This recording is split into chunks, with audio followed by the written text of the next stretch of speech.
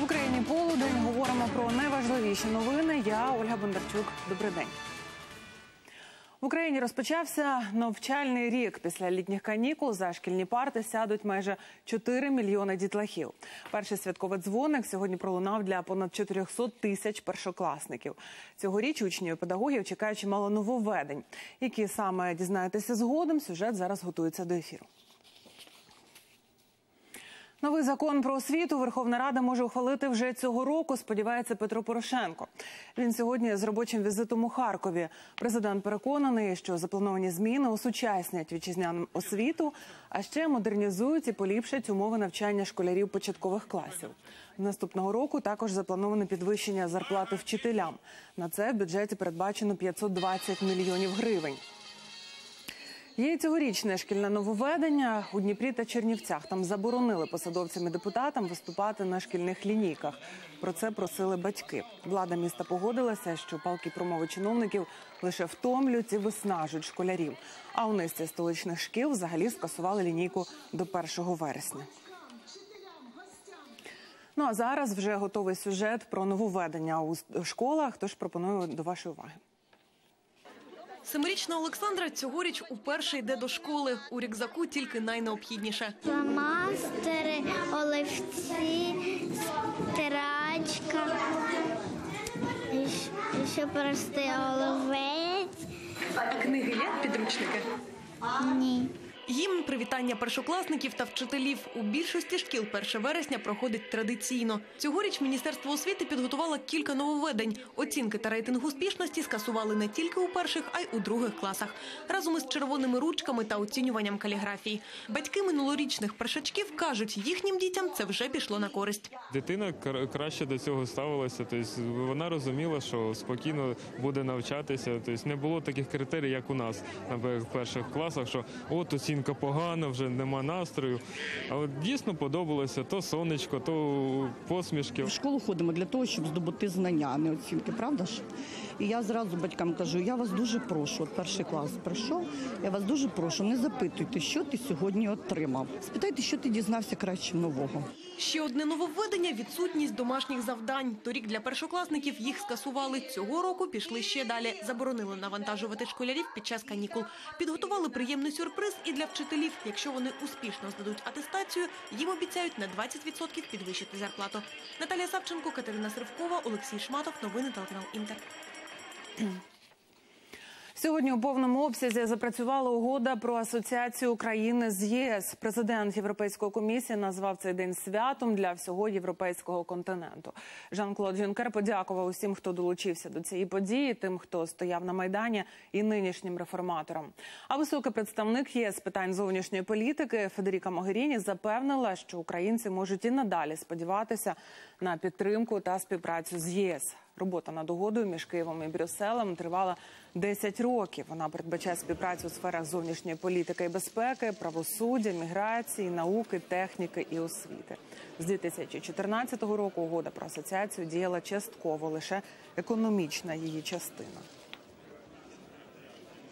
І до подій на сході бойова активність противника на Донбасі не змінюється. Вже котру добу поспіль ворог відкриває лише провокативний вогонь. Абсолютна більшість обстрілів припадає на Донецький напрямок.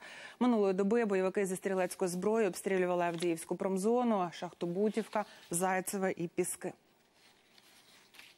Незаконні збройні формування 24 рази відкривали провокативний вогонь по позиціях сил АТО. На Луганському напрямку противник обстріляв з гарнатомету наші укріплення біля Катеринівки. На Приморському напрямку наприкінці доби зберігалася тиша. Бойовики, щоб приховати свою активність, ідуть на хитрощі. В день, коли на передовій працюють спостерігачі ОБСЄ, нападник мовчить. Ну а ближче до півночі відкриває вогонь з кулеметів і мінометів. У цьому переконався наш Геннадій Вівденко. Він провів ніч на передовій. Час від часу українські бійці запускають освітлювальні ракети, щоб вочевидь перевірити, чи не підповзає ворожа диверсійна група. Опівночі бойовики відкривають вогонь з кулемета. Північ в Авдіївській промзоні до ворога тут метрів 30-40. Стріляють вони не так часто, але періодично. Про повну тишу говорити ніяк не можна. в обід от сюди Прилітали 83, ось полчаса назад ще раз АГС прилітав. Лазять, подлазили десь під скелет, просматривають. Ось ми не відкриваємо. Тут на передовій бійці вважають, перемир'ям таку ситуацію назвати неможливо. Лише за кілька днів наші солдати нараховують чисельні випадки використання окупантами бронетехніки та великокаліберних мінометів. Працює ворожий снайпер, бійці жартують, перестануть голитися. Тим більше, як побриєшся, хорошенько І воно лицо світиться сильніше, намного, Начни, чим, да. не, чим не брите лицо. Хорошо И просматривается. да. снайпера сейчас работают. Ну, вчера, мать, вчера ночью, м, часов вот, в 11-12, ПТРД работало. Да. Да, Противотанковые танковые. 14,5 орудий. Они сами вот запросили перемирие, и опять же провоцируют же наших военных. Вдень бійці спостерігали за рухом танків з тієї сторони. Це додає напруги. показує свою місць, аби ми е, навпаки тільки е, почали боятися або переживати, що він може застосувати танки. Я не думаю, що він буде їх використовувати, але демонстрацію своєї присутності, своєї могутності, своєї сили він намагається показати. Але я вважаю, що це просто дешевий піар. Зранку і вдень тиша схожа на справжнє шкільне перемір'я. Геннадій Вівденко, Вадим Ривун, Сергій Байдала. Новини телеканал Інтер із Донецької області. Бої на сході України можуть призвести до екологічної катастрофи. Про це на сторінках американського видання Політіко пише голова ОБСЄ Себастьян Курц. Він попереджає, що бої становлять загрозу для складів із хлором, хімічних та металургійних заводів, місць зберігання відходів і вугільних шахт. Курц наводить приклад, коли на початку року снаряд бойовиків поцілив у Донецьку фільтраційну станцію, де зберігається 7 тонн хлористого газу. Якби стався вибух, шкода від нього була б катастрофічною. Переконаний голова ОБСЄ. Ну якщо хімікати потраплять у підземні води, постраждають сотні тисяч людей. Масова бійка зі стріляниною у Харкові ввечері поруч із парком Артема біля головної будівлі заводу Турбоатом побилися близько 20 чоловіків. Хтось із них мав при собі травматичну вогнепальну зброю. Внаслідок стрілянини у лікарні опинився 25-річний харків'янин. У нього вогнепальне поранення грудей і обох ніг. Він в реанімації у тяжкому стані. имела место конфликтная ситуация между двумя группами лиц, принадлежность э, которых в настоящий момент каким-либо общественным организациям э, либо формированием не установлена. По данному факту в единый реестр досудебных расследований э, внесены уголовное производство У Києві затримали чотирьох грузинів, які промишляли грабунками, викрадали мільйонні суми у місцевих підприємців і грабували квартири. У Києві вони так працювали понад рік, а попалися після свого найбільшого улову два дні тому. На Житомирській трасі вони напали на бізнесмена, випустили в нього чотири кулі і відібрали сумку, в якій було 6,5 мільйонів гривень. Під час обшуків у крадіїв знайшли пістолети, автомат Калашникова і майже 40 комплектів ключів. Усім е, чотирьом оголошено підозру за частиною 4 статті 187. Це е, розбій, вчинений е, з метою заволодіння майном в особливо великих розмірах групи осіб. Очікуємо зараз розгляд суду щодо клопотання про обрання їм запобіжного заходу. Прокурор у судовому засіданні буде вимагати для всіх тримання під вартою. Передбачено до 15 років позбавлення волі. 5 мільйонів гривень на закупівлю міських автобусів. Так бюджетними грошима розпорядилося комунальне підприємство Мукачевого. В поліції заявили, що це втричі більше ринкових розцінок. То куди пішли гроші? Чи дочекаються містяни нового транспорту? З'ясовували наші кореспонденти. Корупційний скандал розгорівся через ось цих 20 нових автобусів. Підприємство «Комунальний транспорт Мукачева» придбало їх у червні. У поліції знайшли кілька порушень у проведенні тендера. Заявляють, машини купили втридорога. Врешті у чиїхось кишенях осіли 4 мільйони 700 тисяч гривень. Умови тендерної документації були прописані чітко під одного виробника, тобто складена документація так, що тим критеріям відповідала тільки дана, е, ну, дана модель, дана марка автобуса. Ринкова ціна такого автобуса – мільйон 950 тисяч гривень, а в Мукачеві заплатили 2 мільйони 200 тисяч. Директор комунального підприємства пояснює – усе через додаткове обладнання. Тут камери відеоспостереження дві, одна тут розміщена, одна е, попереду. А ще в автобусі є кондиціонер, відеомонітор, спеціальна електронна система для квитків і пандус. Комунальники всі звинувачення заперечують. Ми діяли в рамках чинного законодавства. Ми зробили все по процедурі. Відбувалися міжнародні торги, були учасники. е, бу- Не було ніяких абсолютно скарг, не було ніяких е, нюансів. Тобто, це відкрита система прозоро. Жителі міста побоюються. Автобуси, які мали вийти на маршрути у вересні, тепер можуть не випустити. А старий комунальний транспорт уже давно відпрацював своє. Во-первых, э, по ширине она еле проходит туда. Во-вторых, это толпы народа. Ты даже не пытаешься туда влезть с ней. Автобуси торохтять, старі. Та знаєте, сядеш та й перевалишся ще в сидіння. Мені не подобається, наприклад. Оце. Я вже чекаю, не дочекаюся, коли нові будуть автобуси.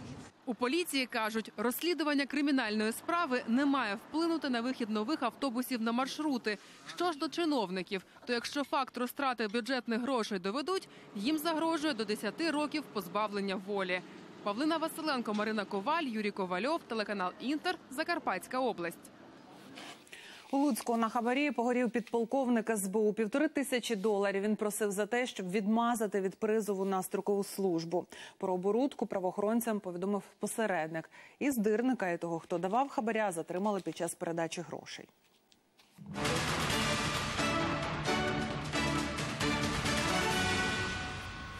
Держдеп США попередив американців про загрози терактів по всій Європі. Закликав бути особливо пильними у туристичних зонах. Мовляв, терористи продовжують вибирати своїми цілями масштабні заходи, місця паломництва, готелі і ресторани, а також вокзали, аеропорти, ринки і торгові центри. Це попередження дійсне аж до кінця листопада. Два місяці тому американська розвідка попереджала поліцію іспанської Каталонії про можливий теракт. Втім, атаці не змогли запобігти. В результаті наїзду на пішоходів у центрі Барселони загинуло 16 людей. і Ще близько 100 були поранені. Відзавтра у Сан-Франциско більше не працюватиме генконсульство Росії. Сьогодні, в останній день роботи, там прийматимуть відвідувачів лише до 13-ї години. Дипломати заявили, що це вимушений крок на вимогу влади Сполучених Штатів. Нагадаю, Білий Дім вирішив скоротити депредставництво Росії у Штатах у відповідь на скорочення співробітників американських дипустанов Федерації. Також Москва має звільнити низку приміщень, якими користуються їхні дипломати у Вашингтоні і Нью-Йорку. Президент Трамп віддасть мільйон доларів із власної кишені постраждалим від урагану Гарві. Про таку щедру пожертву повідомили у Білому домі. Дональд Трамп поповнив когорту відомих американців, які допомагають грошима жертвам стихії. Раніше також мільйон доларів пожертвувала голівудська акторка Сандра Балок.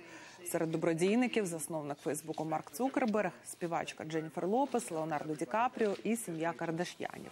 Кількість загиблих від стихії вже збільшилася до 47 людей. А збитки, завдані ураганом, можуть стати рекордними для США і сягнути 125 мільярдів доларів. Мітинг динозаврів відбувся у Вашингтоні. Близько ста людей у костюмах рапторів влаштували акцію біля Білого Дому. Вони виступили проти рішення Дональда Трампа відмовитись від фінансування двох гуманітарних програм. Одну з них корпус миру організував іще Джон Кеннеді. Вона готувала фахівців високої кваліфікації для країн, що розвиваються. Інша організація допомагає Червоному Христу. Ну а в американському штаті Колорадо знайшли залишки справжнього динозавра трицератопса. Натрапили на них випадково при будівництві нової пожежної частини. Ці скам'янілості пролежали у землі 66 мільйонів років. Серед решток добре збережений череп, ріг, лопатка і хвостова кістка. Науковці продовжують розкопки, сподіваючись, що цей скелет стане найповнішим із усіх, які викопували раніше. Трицератопс один із останніх видів травоїдних динозаврів. Їхня довжина сягала 9 метрів, а забудови вони були схожі на носорогів. Мусульмани сьогодні святкують Курбан Байрам. Це свято закінчення хаджу, паломництва до священного в ісламі міста Мека. У Саудівській Аравії нині 2 мільйони 300 тисяч мусульман. Сьогодні там проходить ритуал побиття камінням. Паломники кидають сім камінців у стіну, яка символізує сатану. Цей ритуал вважають однією з найнебезпечніших частин хаджу. НАТО постійно рухається. Люди ризикують бути затисненими чи навіть розтоптаними. Два роки тому через тисняву загинули загинуло майже 2,5 тисячі паломників. 136 зникомих тварин панголінів контрабандисти намагалися провести з Малайзії до Таїланду. Прикордонники конфіскували живий вантаж. Його оцінюють у понад 75 тисяч доларів. У багатьох країнах панголіни охороняються законом. Це вид, який найбільше потерпає від рук браконьєрів.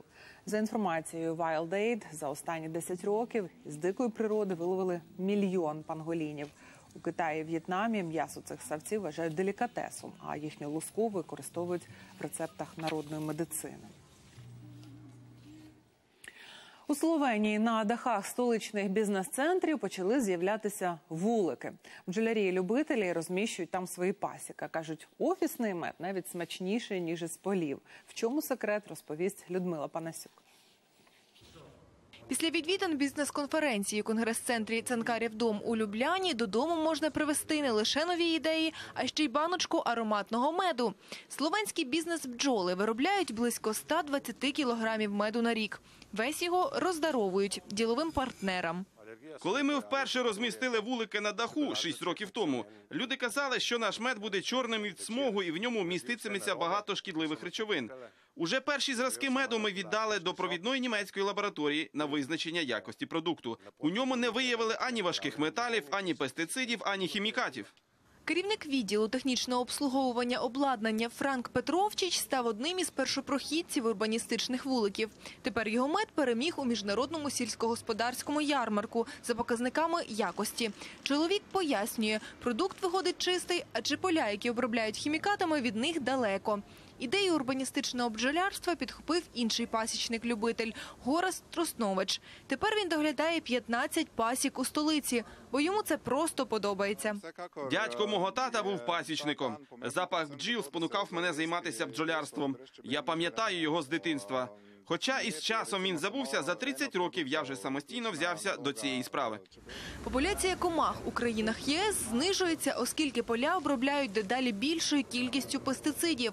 Водночас пасіки на даху набувають популярності. Це дозволяє зекономити простір і отримати якісний продукт. Людмила Панасюк, новини, телеканал Інтер. А от житель Торонто Хуан Ортіс обліпив собі бджолами голову і просидів так 61 хвилину. Чоловік каже, що примусити комах спокійно сидіти на голові було нескладно.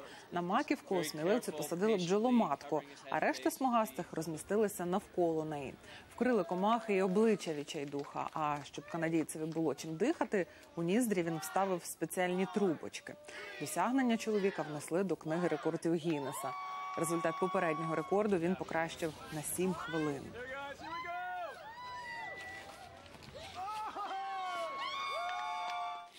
А в Новій Зеландії бджоляр підставив комахам інше місце. Чоловік побився об заклад і всівся на вулик зі спущеними штанями. Джеймі Грейнджер прийняв виклик свого товариша. Той твердив, що Джеймі не зможе витримати 30 секунд на такому сідалі. Але екстремал все таки виграв суперечку і за це отримав 700 доларів. За словами Грейнджера, це найлегші гроші в його житті. Компанія влаштовує такі поєдинки не вперше. Попередній сміливець з вуликом програв. Він протримався лише 19 секунд. seconds. How about 29, 30. Ah! Побити власний рекорд швидкості вдалося транспортній системі Гіперлуп, розробленій винахідником Ілоном Маском. Піддослідна капсула розігналася до 355 км на годину. На цьому розробники зупинятися не планують. Мріють розігнати транспорт до 1000 км на годину. Мета системи Гіперлуп майже миттєво, без заторів і зупинок, перевозити пасажирів і вантажі. Для цього спеціальні капсули пускають у транспортний тунель з відкаченим повітрям. Автостопом на інвалідному візку киянин Дмитро втратив можливість ходити через травму хребта, але це не зупинило його бажання подорожувати. Нещодавно він зважився об'їхати автостопом 17 міст в Україні і за кордоном. Історія відчайдушного мандрівника далі. 2614 кілометрів він здолав без труднощів із задоволенням. Дмитро розповідає, подорож, від якої вибухнули соціальні мережі, насправді спонтанна пригода, бо ж спочатку планував відвідати лише Кам'янець-Подільський. Трохи захопився, потім в Чернівцях вирішив, що поїду до Луцька, а в Луцьку вирішив, що не буду повертатися тією ж дорогою додому і тут до Білорусі рукою подати. Шість років тому майстер спорту з плавання, прогулюючись у горах, послизнувся на схилі. Тяжка травма хребта прикувала юнака до візка, але не зупинила. Після травми я почав більше подорожувати і так далі. У мене постійно якісь там свої челенджі, типу, для себе. Типу, от а чи можу я все те саме, що раніше? Насправді це мене саму теж сподвигнуло поїхати звичайною маршруткою до бабусі. Тому що думаю, якщо він вже на автостоп наважився, то ну маршрутка все ж таки то, це вже якось, мабуть, простіше. Дякую, Дімко. Сподвинули. На запитання, як довго доводиться ловити машину, Дмитро, сміючись, відповідає часом швидше ніж на ногах. Найдовше чекав на дорозі в Хмельницькому. Ну, ясна річ, що е, дальнобійники не зупиняться. Коляска складається, вона в будь-який автомобіль влазить. За 19 днів подорожі мандрівнику траплялися лише позитивні попутники. Непокоївся лише, що про його самотню подорож автостопом не дізналася мама. Ночував у друзів у різних містах, а часом доводилося шукати прихисток через Фейсбук. Тернополі в мене знайомих як таких не було. Я не знав, в кого можна заночувати. Ми писали на доступно, що шукаємо там, де заночувати, і це, і типу, ну і там буквально менше ніж за годину знайшли теж там через знайомих знайомих. У різних містах активісти соціальної платформи, яку Дмитро створив разом з друзями, тестують на доступність громадські заклади та транспорт для людей з інвалідністю. Ми от своєю командою, своєю активністю показуємо людям, що в принципі, не дивлячись на те, які є в тебе інвалідність чи немає, що ми маємо необмежені можливості. Ми маємо лише обмежену фантазію і купу страхів, які нас е, змушують е, робити, не робити багато чого. У планах Дмитра вирушити автостопом до Ісландії, а звідти дістатися Шотландії. Віталія Кушмирук, Анна Демиденко, Іван Мотриченко, Максим Чеблін. Новини телеканал Інтер. Героїня нашого наступного сюжету зібралася підкорити найвищі гори усіх континентів. Це українка Тетяна Яловчак. Більшу частину свого нового амбітного плану уже здійснила. Побувала на Кункагу, Ельбрусі, Кіліманджаро, Евересті і Дінале. Тепер же готується штурмувати найвищу гору в льодовиках Антарктиди. Когда мы поднимаемся на Эверест, у нас есть э, один скальный маршрут. Навіщо такій красивій жінці такі екстремальні випробування? Це питання видатна українська альпіністка, яка підкорила Еверест, чує найчастіше. Виявляється, ось заради чого людина витрачає десятки тисяч доларів і, ризикуючи життям, збирається на найвищу точку світу Просто спокойствие от того, что ты стоишь на вершине, ты это сделал, но, слава богу, осознаешь, что тебе еще надо спускаться. Вона могла стати першою українкою, яка підкорила Еверест, але доля вирішила інакше. Суперниця з Мукачева випередила Тетяну на одну добу, але не відняла смак перемоги. Вот могу сказать два слова без маски, потому что она замерзнет. Люди, прошу вас, давайте жить мирно. Жизнь такая прекрасная. А тепер Тетяна Яловчак наважилася на ще амбітніший план. Вона збирається підкорити сім найвищих вершин семи континентів. П'ять вже підкорена. А за чотири місяці найважче випробування. Найвища точка в царстві вічного льоду Антарктиди пік Вінсона. Мне казалось, после Эвереста мне ничего дополнительного не понадобится, но я ошибалась. Винсон – это э, вечная мерзлота. Тетяна доводить, що навіть на захмарній висоті понад 6 тисяч метрів жінка залишається жінкою. Это крем для рук. Это крем для лица. Это отбеливающие полоски для зубов.